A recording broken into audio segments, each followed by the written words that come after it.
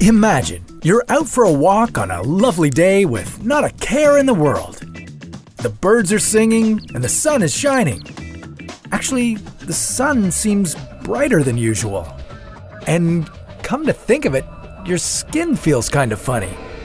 It turns out that's not the sun at all, but the radiation and gamma ray filled light coming from a quasar. So, in short, you're in serious trouble. How did a quasar even get here? And what would happen to Earth if a quasar moved into our neighborhood? This is What If, and here's what would happen if a quasar entered our solar system. I hope you didn't have any plans today because the brightest object in the sky has set up shop in our solar system. So, what exactly is going on anyway? A quasar is the result of two black holes colliding to form a supermassive black hole, with a central mass that outweighs our Sun by a billion times. When black holes merge, everything goes out of whack. The two black holes begin to consume all the gas and dust from each other, along with anything else in the area. Okay, so if they're eating each other, why are we seeing that bright light? Well, the material that's thrown off begins to glow from pressure and friction, resulting in the blinding light you're seeing.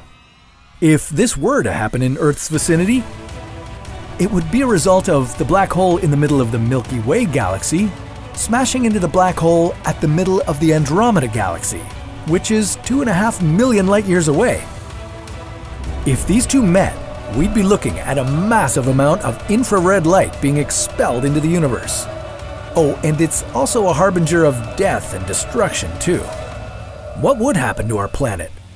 Well, brace yourself because this is going to be a doozy. Quasars throw off jets of particles that are so bright they outshine all the stars in their galaxies. So, our sun would essentially turn into a candle in the middle of a very bright spotlight.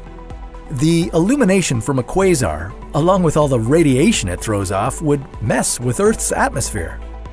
The light is enough to energize particles that make up the atmosphere and free them from Earth's gravity. Our atmosphere would be destroyed, and we really need our atmosphere. It's our protective layer that keeps things in order and regulates the temperature. Without it, the oceans would dry up, Arctic ice would turn into water vapor, and everything would get much, much hotter. In addition to it being blindingly bright, we would have no safe air to breathe, no plants to eat or feed animals, and there would be no water to drink. Life on Earth would be a write off. This would all happen very quickly, so you wouldn't have to live through a long, drawn out apocalypse. At least you can look forward to that. But could this sort of doomsday scenario actually occur? Well, yes, but not for another three or four billion years. At that point, the sun will be flickering out, and by that time, we're pretty sure something else we've covered on What If would have taken us out first, so we won't even be around to see it. But it makes us wonder what other mysteries could be found hiding in black holes? Could we harness the energy of a black hole?